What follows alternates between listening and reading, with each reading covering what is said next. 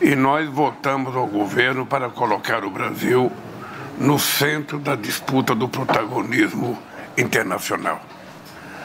Nós temos uma atividade econômica intensa no Brasil no dia de hoje. Queremos compartilhar essa intensidade da atividade econômica com os nossos parceiros da União Europeia. Nós queremos compartilhar com os nossos parceiros do Mercosul e da América Latina e do Caribe. E mais importante ainda, nós queremos aprofundar com a União Europeia a discussão sobre a questão não apenas do desenvolvimento industrial, do crescimento econômico, mas queremos discutir profundamente a questão climática.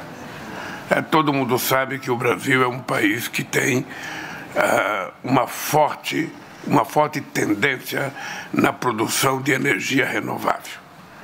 Hoje nós temos praticamente 87% da nossa energia elétrica renovável.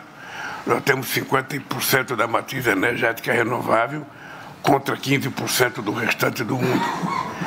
E a transição energética, a transição climática, presidenta, passa a ser uma prioridade no nosso governo.